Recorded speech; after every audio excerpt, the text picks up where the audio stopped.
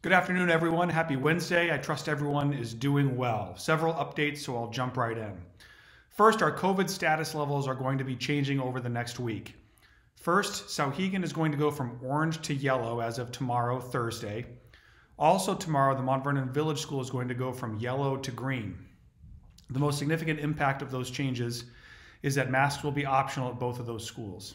In addition, uh, effective Monday, January 31st, Amherst Middle School and Wilkins will go from yellow to green, also making masks optional.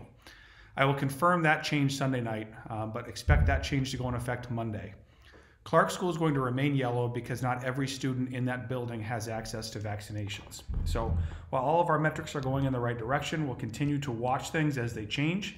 Uh, be on the lookout for any updates as they come forward, but I hope that this is a step in the right direction for all of our schools.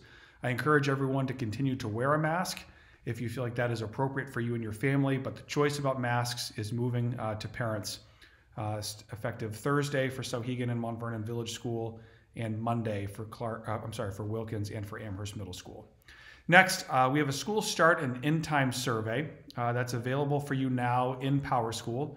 If you log into the parent portal, there's a survey under the forms section where you can give us feedback about the school start and end times that went into effect this year. So I'd encourage you to take that survey sometime over the next week. Next, filing dates for open school board positions remain open until this Friday at 5 p.m. So stop by the Brick School at 1 School Street in Amherst to sign up for any of the school board spots that are open until 5 p.m. A reminder, deliberative sessions will be happening in February. February 7th is the Souhegan deliberative session at 7 o'clock at the high school. Uh, February 8th, which is a Tuesday, will be the Amherst deliberative session, 7 o'clock at the high school. And Wednesday, February 9th, the Mont Vernon Village School will have the Mont Vernon deliberative session, 7 o'clock. Voting will take place March 8th, 6 a.m. to 8 p.m. at Souhegan for Amherst voters, 7 to 7 at the Village School for Amherst voters. I'd like to give special uh, thanks to the Amherst Fire Rescue. Over the past couple of weeks, when we've been short on nursing staff, uh, Amherst Fire Rescues provided some of their staff to, to be at our at Clark School to help cover the nurse's office when we've had an absence. So that's been great. We really appreciate the partnership between the town of Amherst and our schools, uh, and want to thank Chief Connolly and his staff for their partnership helping us out. Thank you.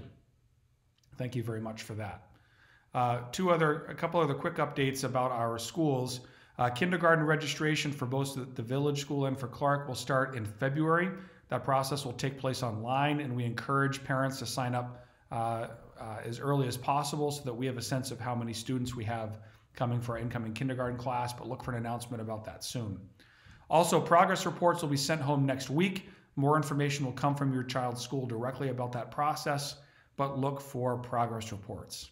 And finally, on a, on a high note, uh, Chloe Trudell has been named the Gatorade Cross Country Runner of the Year for New Hampshire. Uh, Chloe won the state championship for the second time this year as a D2 athlete and uh, is going to the University of Connecticut next year on a scholarship to run cross country.